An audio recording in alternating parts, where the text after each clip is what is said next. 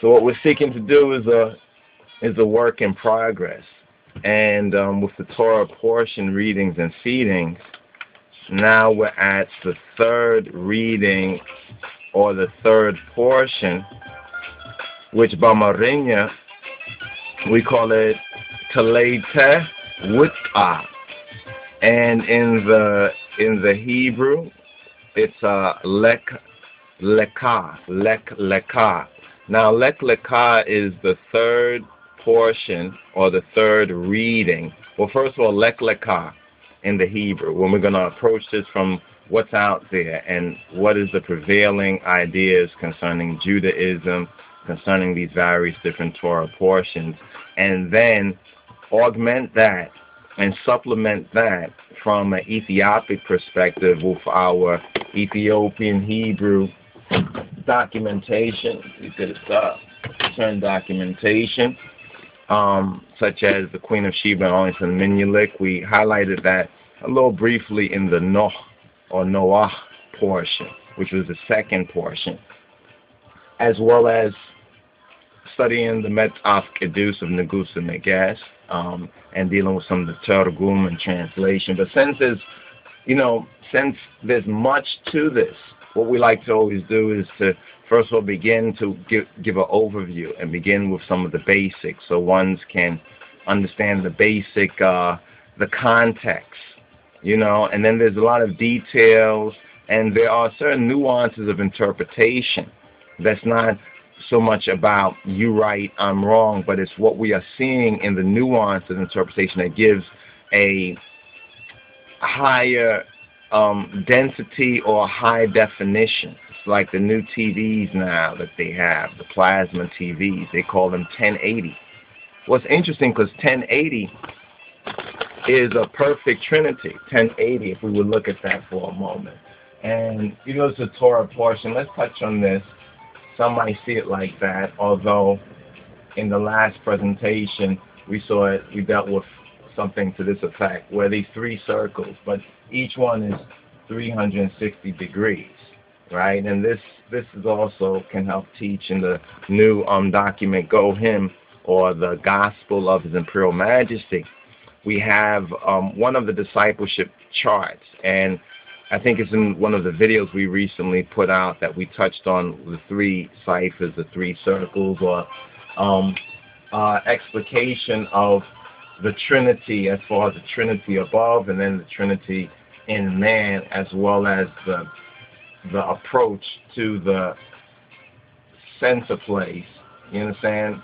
Or the approach within to return, return to God, or return to that harmony, that balance with the Almighty um, as a son or a daughter of God. Now, anyway, the 360, if you look at the 360, you got one, you got two, you got three. And if you add the 360 times three, basically you will have the 1080. Now, 1080 is what they call the new TVs. They said new TVs are 1080 and plasma. Plasma, you know, is in the blood. Plasma is in the blood. And in the Greek, plasma means a fiction. Now, that's just some of the some reference points, if you study you'll find there's some very interesting um, explications of that. But that's going a little bit outside of what we want to reason on now. We just want to give that, that sort of a background that these particular teachings that we're presenting and Torah portions are to give us some a good overview. And we're coming out with some new documentation, one on the Hebrew for the Torah portions, one on the Hebrew book of um, the Hebrew book of Genesis or Bereshit, as some Jews pronounce it. More correctly, correcting it by the Ethiopic, would say Berat, Berasit or Berisit. You understand? Beris in the Ge'ez means Aras in the Amharic. So it means Rosh or Rosh in the Hebrew, referring to the head or the beginning or the summit of something. So we've begun a new cycle of Torah portion reading, and this this uh, Torah portion it was a Torah portion that was to be read or beginning this particular week, which is um, November fifth. From November fifth, November fifth was the seventh day in the week, and that was the Shabbat day, the Saturday, and now on the Sunday, What's important, some may think, well, it's Sabbath day versus Sunday. That's only if one doesn't have the matter in the proper context.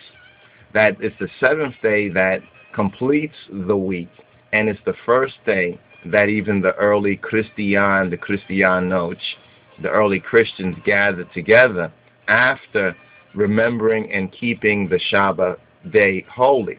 So, in other words, if we were to gather together as a as a group, say in, on the Saturday, ones would, you know, either spend it in the Mikorah, the synagogue, or in, in their homes, and just took the, that day as a particular rest day, a particular remembrance day, a set aside day, read scripture, chant prayers, or just relax and do, you know, do no occupational labor, what they would do for the other six days. Because in order to keep the seventh day, yet to yetekedeseh, this means as a prerequisite that the other six days must be about some particular occupation or some particular um, activity. You know, when Christ said the priests in the tabernacle were exempt, it was because, just in a sense, as I and I, we're about this work in a continuous.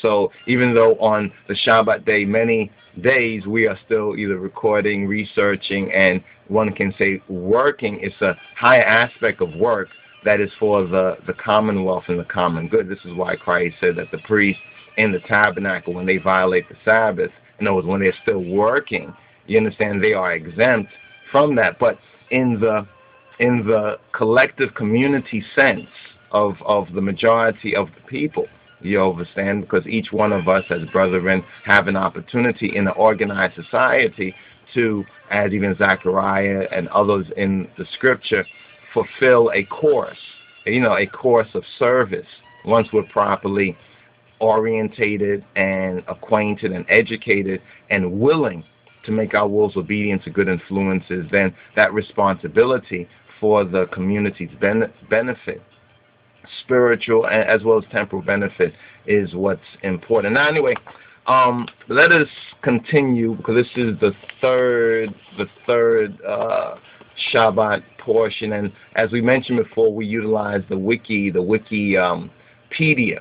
Um, the Wikipedia um, free encyclopedia is a good reference for some of these themes, for some of the Hebraic and Judaic themes, and helping us at a basic level to become familiar with these particular themes. And as you know, this particular document that we hope to update um, soon, and also augmented with some of the dates so ones can understand um, which portion is read for which Shabbat date. This all has to do with the calendar.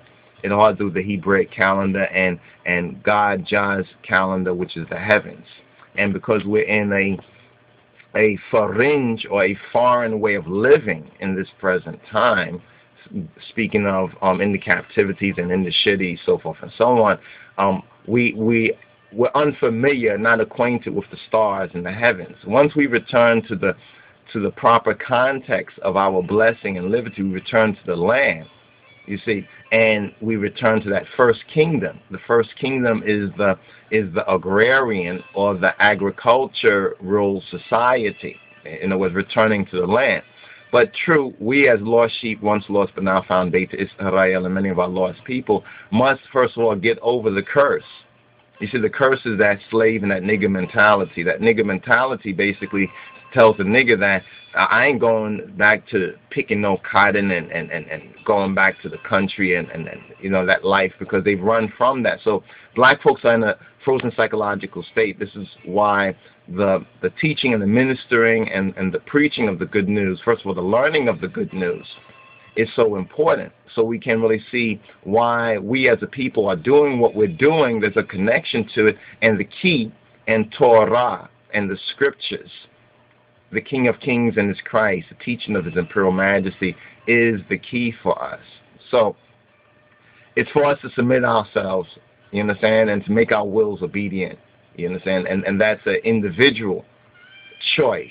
And then those individuals who choose when they come together collectively then the true work, Jah works, can truly begin. So each of us has an individual as well as a collective um, responsibility in this matter. So with that being said, um, there's some new documentations that are coming out. Um, we hope to publish them soon on Bereshit, which would actually be the 12 portions, taking some of the Wikipedia notes as a as an initial starting point and publishing them in one volume. What we've done before is sometimes print out the various pages, and you know this documentation evidence is free. But what we're going to do is go over these things and, as we say, rightly align them from our Ethiopic or Ethiopian Hebrew perspective, as we do in these particular teachings and have been doing. I think going on, this would be perhaps the third year or the third cycle that we have been about this. So ministering in this way, we're going into that third that third year or that third cycle, and some of our videos and the videos of Ethiopian World Net and the Lion of Judah are available. So you can actually probably look up Lek Lekah previously or the, the RSS, the Rastafari Sabbath um, studies number three and find that find maybe last year's version and perhaps the year before that as well. But now in this um, third portion, let's write the Hebrew up here.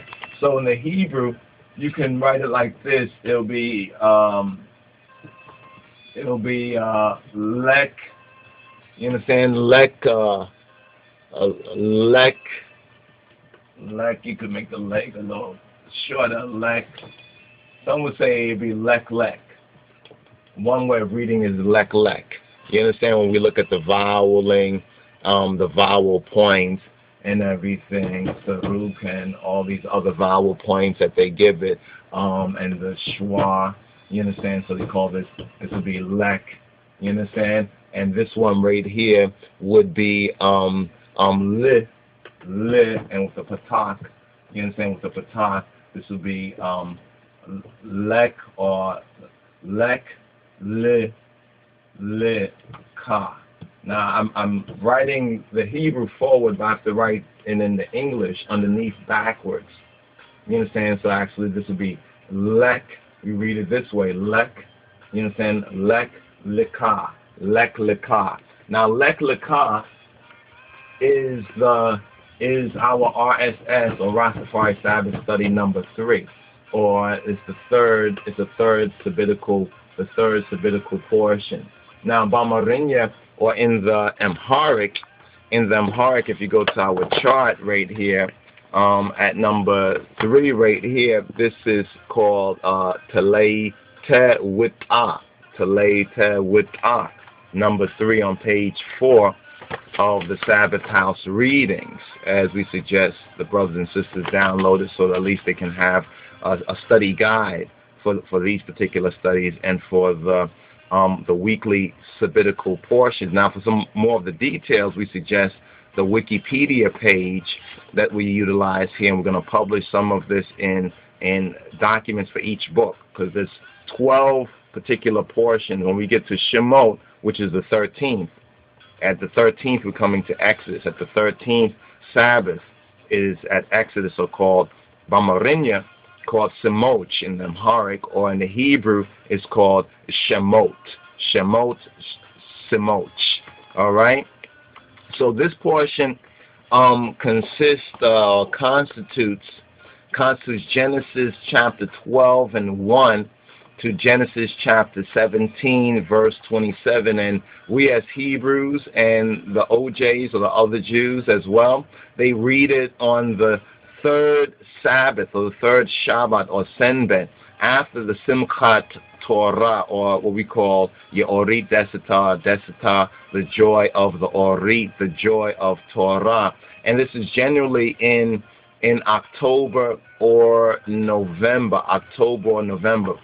All right, but now let's touch on what what is the meaning of this. I think you you all already have this. We could probably um um take this down. We just want to explain, you know, explain the 1080 as far as as far as um, high definition. You know, first you saw at the 360, the 360, the first cipher, and then you, you take it another, uh, another level. And then at that third cipher, you can get that um, 1080 or certain steps, mystical and metaphysical, certain mystical and metaphysical steps. But with that being said, let us take this down for a moment so we can have more room to uh, uh, address this. And we have a second portion or a further portion of this that we actually recorded before, since this portion actually also deals with um, the subject matter of circumcision. And there's some important notes on circumcision. I think it's a two or three part, kind of a longer part, but it's based on the word picture, word picture presentation that hopefully ones and ones will find informative and interesting. But first of all, let's get to the meaning. What's the meaning of lik likah um, or lek likah? It means in the Hebrew to go or to leave or to go for. To go, this is being the the Sabbath, Sabbath number three. All right, Sabbath number three in this particular year, 2011, that would that would be aligned with November 5th, 2011 for this year. Remember, it's according to the the lunar reckoning, the the position of of of the of the moon. You understand? The new moon is how we calculate the months and the times and the seasons as Genesis chapter 1 verse 14. Genesis chapter 1 verse verse uh, 14 is what shows us that the heavens, not to worship the so-called stars or the celestial sign, not to consider them gods or anything. You don't worship you don't worship the number signs on your clock, or do you? You know, you don't worship the, your clock but the clock helps you keep in a certain timing. And one of the main reasons that we are out of this timing is because of the the foreign the foreign way of living or the strange way of living that we as the once lost but now found Beta Israel, the black sheep of the family, are living. So we're living in a foreign, we're living in the, as the Bible say, the image of the beast. And say we're not living in the image that our God and King of Kings has created us in from the very beginning but we're living in a, a strange way of living. For example, morning, morning and evening is considered a day, but according to the scriptures, evening and morning. So with that in mind, let us just continue with this. Um, sometimes we feel a need to just refresh some of the basics, you know, because ones will say, yes, yes, okay, I know that, I heard that, but then really don't know how it all goes together and how it operates in a system. So you may have heard it, but it's, it, it connects with other truth. So that truth about the heavens are is God's calendar. The heavens are God's calendar. So this what shows us is for signs, for seasons, and for days and for years. So that question about when do we read which particular portion, or when we get to the additional um, for the holy days, right here It was at the beginning of Rosh Hashanah. In fact, we're at this particular point right now after Sim, Simchat Torah. If you go to page 9, you will find Simchat Torah, and we are, we, we've already completed so far, just in this, just in, just since September, roughly the September 11th, September 12th, after that time, which was the Ethiopian New Year and then the Hebraic New Year began thereafter, we've already completed from Rosh Hashanah or the Yom Teruah, all Yom Kippur, the Sukkot, the days of Sukkot, the Sukkot, um, the Chol Ma'od, or the intermediate days, the Sukkot uh, Shabbat, um, the the Hoshana Rabbah, the Shemini Atzeret, and now the Simchat Torah. Now, as you will read here on the on the wiki site, as well as as you will learn, if you study this, that that this is the third, this is the third portion of the third uh, sabbatical reading, the Parashah or the Orit Nebab, after Simchat Torah. So Simchat Torah, it becomes an important, an important marker. You understand? So it, it, it, takes some, it takes some familiarity, some studies, but it's very, it, it all makes sense. The thing that way doesn't make sense is the way that we're living in Babylon. That's what really doesn't make sense. When we start to understand this, in some sense, some of us have said, no wonder the OJs are in the position that they are in in this present time, the, the so-called other Jews. So we have to once again reclaim, you understand, um, our our be grafted in, as it were. We are that natural olive tree or the natural branches rather that must be grafted in again. But what Yahweh did was graft in wild olives, speaking about the OJs or the other Jews. Yahweh was saying within that natural tree that we were grafted into, but because of disobedience from our ancestors to our present time, those natural branches were broken off, and therefore we went astray, and therefore we ended up, our ancestors and us ended up in this land which is not our own. And that, that's a very important theme that we're in a land that is not our own because actually this is what what was told to our our father, our ancestor Abraham in this particular in this particular portion. So let's deal with some of the contents. What are some of the contents of this particular Torah portion? Okay, firstly, it's the it's it's, it's Abraham's Abram's, right? Abram's call or the calling of Abraham, right? Secondly, it is what we call the sister wife. The sister wife, right? We have the sister wife, right? Or wife as sister. Then we have the issue of Abram or Abraham, but before that he was known as Abram and Lot, the whole Abram and Lot and the division, the particular division of the land that would take place. Then we have the fourth matter. The fourth matter is the war. We have a war. There's, there's, there's a war. Let's take this off. RSS, you know, to the Rastafari Sabbatical Study or Sabbath number three. Um, let's put this over here. We have number four, the fourth matter is the war between the four kings and the five. We have what we call the war of four over five, of the four over five kings, right? Then we have as the fifth matter, we have the covenant. The fifth matter is the covenant, the covenant between the pieces, the covenant between the pieces of the meswa'it, of the sacrifice. And we're going to hopefully be able to explain that as well. These are the various different subject matters that are contained in this particular Sabbath reading and feeding. And we have the entire week actually, beginning on, of course, the Shabbat day, the seventh day, and usually in a community sense, the community would gather on that first day as Christians, so called, gather on the Sunday after keeping the Sabbath day set apart as a rest day. And they would usually hear either a, a sermon, you understand, uh, or a homily concerning these particular teachings and how they affect the community in the particular time or region or area that they are in. So this is what we also seek to do. But the first thing we need to become familiar with, well, what does it say? And and then we can then say, well, what is the truth of that? What evidence we have for that? And then how does it apply to us as a people in our particular time? What is the relevancy or the uh, resonance for us in the present time? So the sixth and the seventh matter is is is sixth matter is Hagar, is Hagar right? Hagar, the mother of the so-called Arabs, uh, and, and, and, and Ish, Ishma, Ishma, Ishmael, right? And then the seventh matter, sorry we had to write it like this right here, but so it is, is the covenant of circumcision.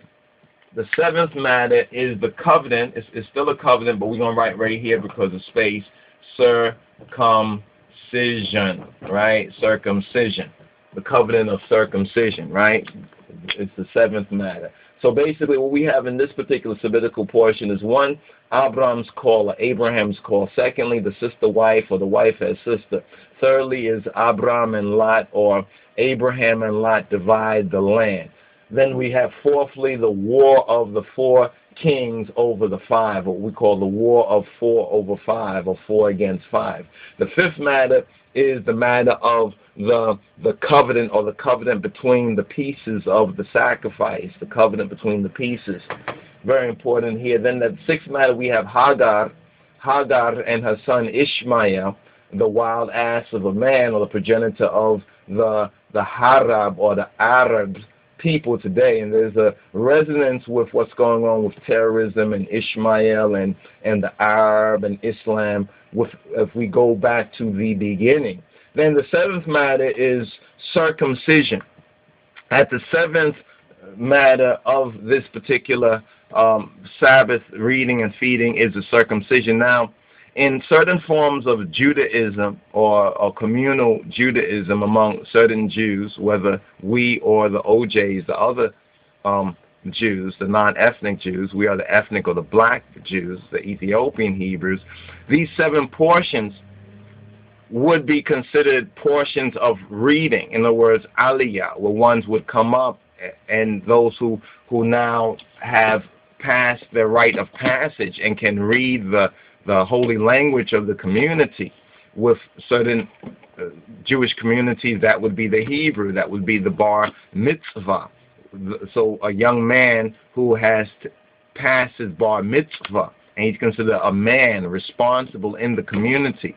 And there are certain um, qualifications. They call it a rite of passage. This is what we, as lost sheep and enslaved Ethiopian Hebrews, have lost and must reclaim in the present time with the Metzaf Kedus and the Royal Amharic of the King of Kings. So that means we have to study and show ourselves approved. So when a young man is able to come up to read, you understand, the particular sabbatical portion, you understand, this is a great honor. This is kavod. This is a great honor that is bestowed.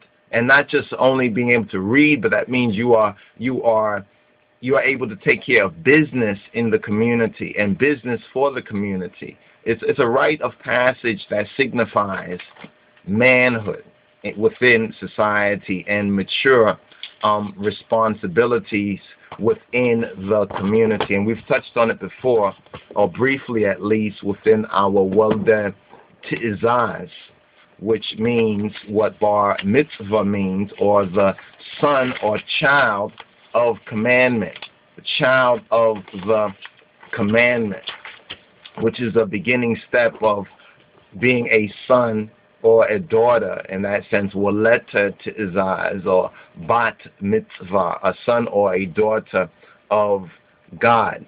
Now, Genesis 12, Genesis 12 and 1 to Genesis 17 and 27 is where these seven, these seven portions in in uh, Lek Lika Lek Lika Bamarinya telay te, separate wita, uh, separate and come out. So we get a clarification of the, the meaning of leklika in the Amharic and in the Ge'ez, from the Ge'ez, but right now we're going to begin with the Met of Kedus, Telay Te, the Royal Amharic, Telay Te, separate yourself.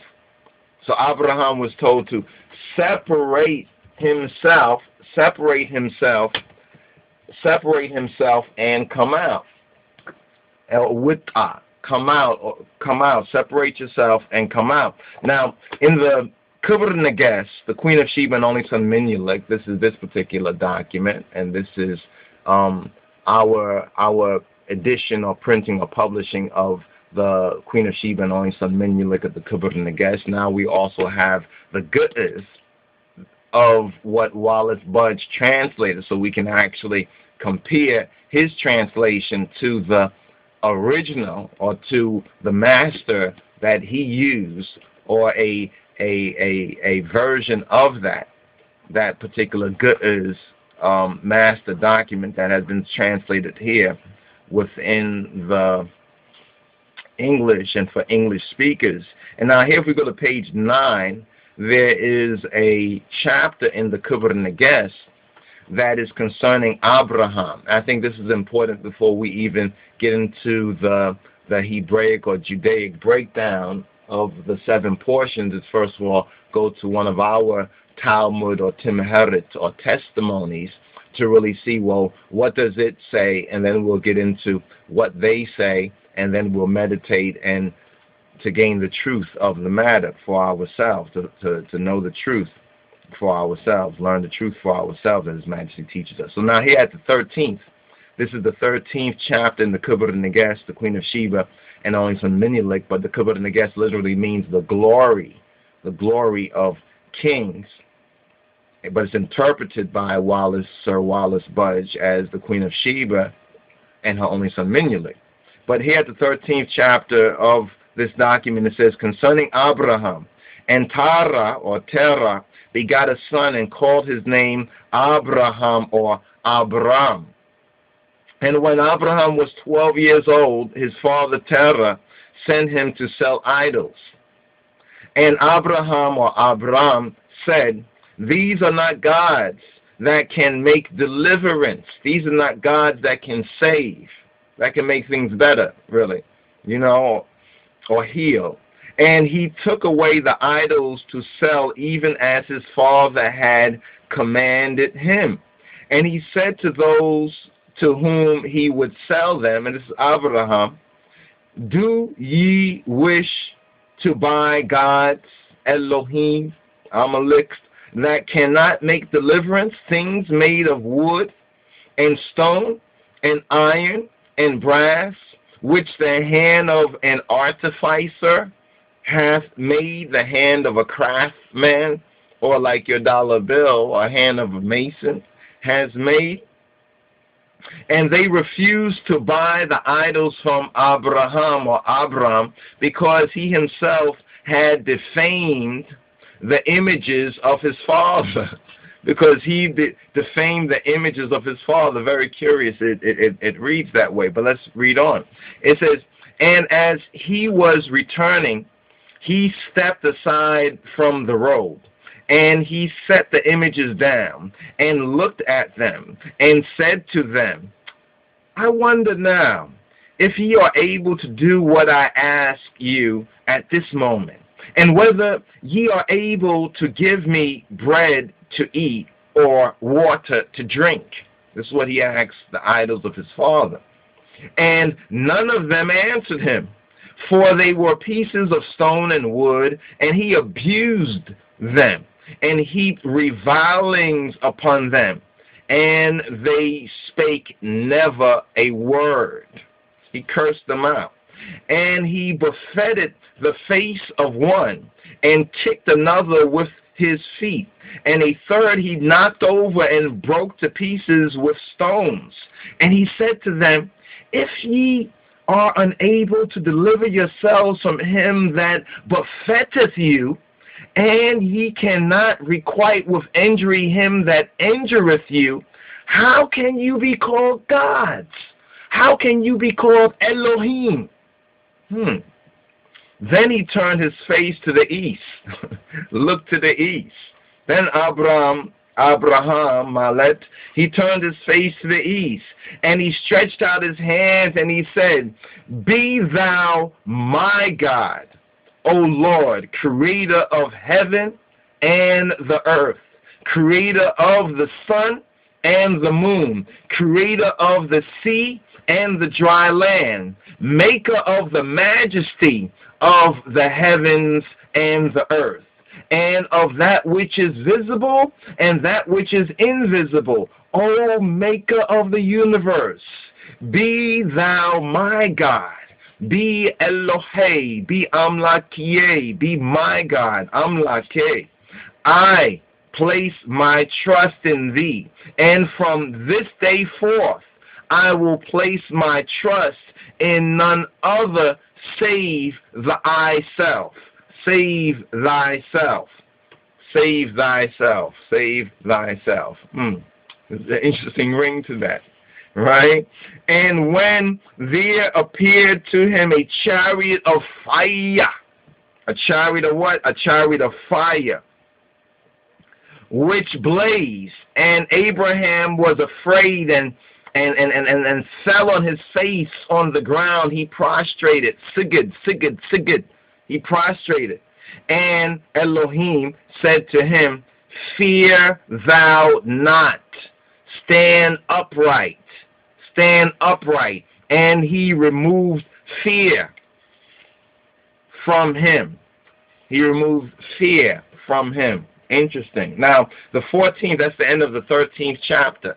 And, and, and see, now this is concerning this particular Torah portion or understanding now the context of the Torah portion that we have in the Hebrew Bible, you understand, called Lech Lecha, and in the Metzaf Kedus, the Book of the Seven Seals of His Imperial Majesty, or the Amharic Torah, the Amharic Orit, Telete Wutta. This is the background context. Now, it says to compare with Genesis uh, 15 and 1. 15 and 1, and that's contained in this particular Torah portion, reading and feeding, that we hope to get into a little bit more detail over, we can say, the next uh, six or so days. Next six days within this seven day cycle. Now, uh, chapter 14 says, concerning the covenant of Abraham concerning, so this is concerning Abraham. So this is actually all a part of Abraham, some of the background of Abraham's call. So in a sense, from an Ethiopic perspective, in this RSS number three, um, we're addressing Abraham's call by referring to the and the the, the Queen of Sheba and only son Menelik, or the Glory of Kings. Now we're going to go to chapter 14. Now in chapter 14, and now after this, we'll get more into the, the Hebrew book of Genesis, what the OJs or the other Jews say, and then to cross compare and contrast with our Ethiopian Hebrew perspective. Now, chapter 14 says, concerning the covenant of Abraham, and God, Elohim, held converse with Abram, and he said to him, Fear thou not from this day thou art my servant, and I will establish my covenant with thee and with thy seed after thee, and I will multiply thy seed, and I will magnify thy name exceedingly. Now, this is true. We have the three so called um, mono um, monotheistic or mono uh, uh, monotheistic um, religions, um, Judaism, Christianity, and Islam all refer highly to Abraham. So now there's a, a, another research that we might not have opportunity to get into now, but you can probably look it up and find some more information about it on the internet. Um, it's called The God of Abraham, a mathematician's view. And it's very interesting. It even helps to explain somewhat the hands of His Majesty. You understand when we get into the God of Abraham, a mathematician's a mathematician's view and understand the emperor's new mind, in other words. But let's continue right here. So here, Yahweh, or rather, he was not known as Yod Hey Wow Hey to Abraham. Abraham knew of him as Ha Elohim, as El Shaddai, but did not know of him by the name of Yod Hey Wow Hey. But be it all the same, he knew of him and he was chosen. He was chosen to be the servant of the true God of Ha Shem, of Ha Elohim, Baruchu and his covenant and the covenant, the Al the Benai Berit, was established with our ancestor, our father Abraham, with him and with his seed and with that black seed. This is the key, with that black seed after him. And I will multiply thy seed, will multiply thy black seed as well as the spiritual seed. In other words, those who are not black, both of the ethnic and the spiritual seed would be multiplied and would magnify thy name exceedingly as a as a father of multitudes, a father of many. You understand? And I will bring down the tabernacle of my covenant, the tabernacle of my Al Kidan, my word agreement upon the earth seven generations, seven generations after Abraham, after Abraham. And it shall go round about with thy race. It shall go round about with thy, excuse me, with thy seed. and shall be salvation to thy race. So both thy seed and thy race. And afterward I will send my word, send my word for the salvation of Adam and his sons forever, forever. And at this moment, these who are thy kinsmen are evil men. Whoa, these who are your what, Abraham? Your family, your kinsmen are evil men, or in the in parentheses, a parenthesis here says, or rebels. They are Amet Enoch. They are Amet Enoch. They are rebelling against the God of Abraham, or they're rebelling against the true God, and it says, and my divinity. And my what divinity, which is true. Now there is a residence for us as Rastafari and, and for the Ethiopian Rastafari and Ethiopian Hebrews at this very prophetic time, since we're now in the 81st year of the Redeemer. This is of our kinsman redeemer of Kedemawi Haile Selassie since the coronation. We're now in the 81st, the 81st year, and we can see now reflection of this as well, because it says, and at this moment, these who are of thy kinsmen, these who are related to you, in other words, even we as black people and as black Hebrews, many of those who are related to us, our kinsmen, who are our color but not our kind, are also rebels or evil men, and they're they're rebelling against Yahweh's and the King of Kings divinity, which is true. They have rejected. They have rejected the divinity of his imperial majesty and therefore their own redemption and their connection with the true Jesus Christ, with our black Lord and Savior. And this is why they're worshiping the image of the beast. So you can see the however you approach the truth, the truth is true, it's true, it's true. And as for thee, that day by day, they may not seduce thee. Come, get thee forth out of this land. He's saying so that if you stay around them, they're going to seduce you. They're going to con you. They're going to trick you. They're going to hoodwink you. They're going to bamboozle you.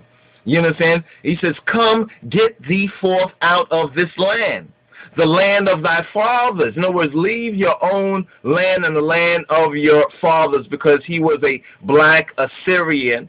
Some say Chaldean. We say he was a black Osirian or Osaran, uh, Ashurin from Assyria, Assyria, Osiria. You understand? You can you can you can make sense out of that from many different perspectives. But let us move on. He's told to to to come, get thee forth out of this land, the land of thy fathers, into a land which I will show thee, and I will give it to thy seed after thee. Now it says right here to compare this with Genesis 12 and Genesis XIII, Genesis 13, verses 14 to 17.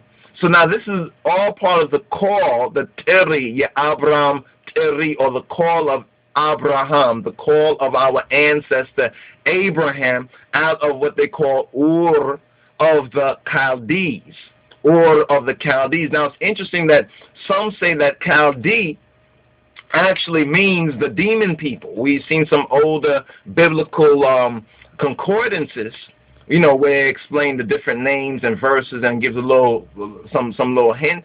And we saw before, and we'll try to bring this forward to you. Where and you probably look it up, where where in, in some of the older etymologies, like Gesenius, Gesenius, and some of those older um, interpreters and, and, and, and scholars that they had said that Chaldees or the Chaldean, the Chaldeans, but more correctly, the Chaldeans were the demon people. Now, this would make a lot of sense from the Kebra Nagast concerning the covenant of Abraham. Now, he's told to, that the kinsman at this moment, at this time, and that's the key thing too, that at this particular moment, in that particular day and age, his kinsmen, his his his his those who were of, of his color racial type, but not of his kind, were evil men or were rebels, rebels to the, the, the true divinity of God and Christ, or God in Christ in that time of the true God, in other words.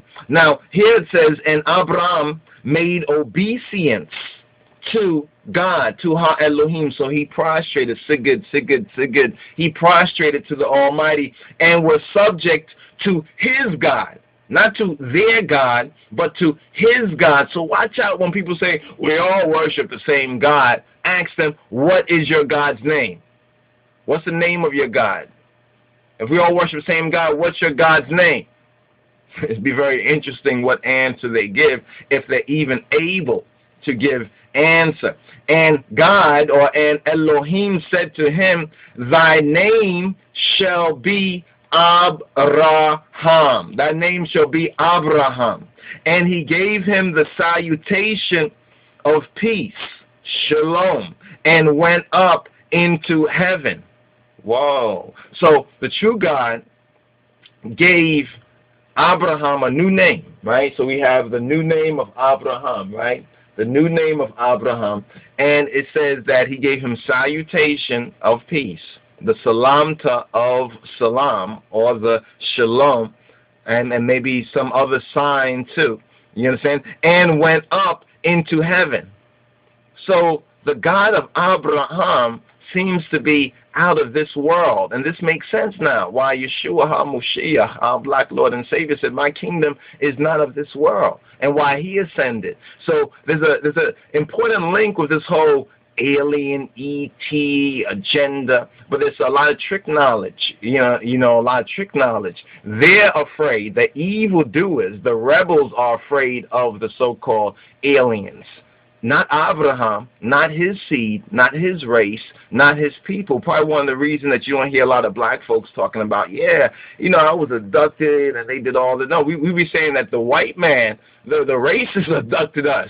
You understand? 400 plus years ago. That's who abducted us. That's who conducted the experiments and still is doing these things to us. So, so you know, those aliens or whatnot may actually, you know, be coming to help us out if you think about it from a biblical Torah scriptural perspective. But here it says that he, the Elohim gave him the salutation of peace and went up into heaven. And Abraham returned to his abode, and he took Sarah, or Sarah, his wife, and went forth and did not go back to his father. So he went forward ever, backward never. He didn't go back to his pops, right?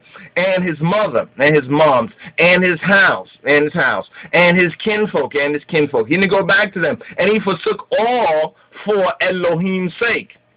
He forsook all. He, he, he, he went forward. So this is the great faith of Abraham. This is why Abraham is the father. You know, we could say the father, the template uh, of, of, of the faithful. You understand? And he arrived in the city of Salem, of Salem, and dwelt there. And it says, and reigned, and reigned in righteousness, and did not transgress the commandment of Elohim. And Elohim blessed him exceedingly. That, that means enough he gave him enough blessing. And the length, and at length, he possessed 318 stalwart servants, in other words, trained or armed servants, or some say men of war, who were trained in war, and who stood before him and performed his will, the will of our father Abraham. And they wore tunics they wore tunics or kabas, we would say Bamarinho in the Ethiopic tradition, richly embroidered, richly embroidered with gold, and they had chains of gold about their necks. Me of some hood stuff, right? They had some chains, some choppers, and, you know, were embroidered like Ethiopian garments, you know, like the King of Kings and belts of gold round about their loins and they had crowns of gold on their heads. Rastafari. And by means of these men, Abraham vanquished his foe. By means of these trained servants, stalwart 318, he vanquished, that means he conquered them. You understand? They were they they were they were they were vanked. You know, they were vanquished They were vonked and squashed. She squashed that. And it says, and Abraham, he died in glory in God and was more gracious and excellent than those who were before him. He was gracious and held in honor and highly and highly esteemed. Now, this is from the Kebra Nagast, the glory of kings, or in translation, the Queen of Sheba, and her only son, Menelik. Excuse me, and this is giving us a, a basic a basic summary. You understand? We're going to refer to some of the themes within our Torah portion in our studies, go to some of our sources. You know, in other words, drink water from our own uh, cistern. You understand? Our own cistern. You know, our own drinking gourd, our own drinking well. You understand? While we also study and see what the OJs or other Jews or others say and, and compare and contrast and find out whether whether there's anything true, true, right, and exact there. You understand?